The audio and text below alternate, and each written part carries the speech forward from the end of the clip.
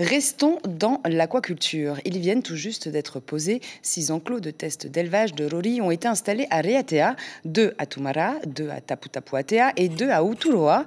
La société Tahiti Marine Product à l'origine de ce projet ensemence les parcs de 30 mètres carrés avec des holuturies juvéniles de quelques grammes.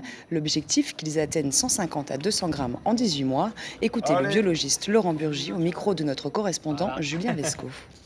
À partir du moment où ils se mettent à, se nourrir de sédiments, la croissance euh, augmente euh, de manière, euh, je ne vais pas dire exponentielle, mais ça augmente beaucoup plus vite que ce qu'on a vu jusqu'à présent.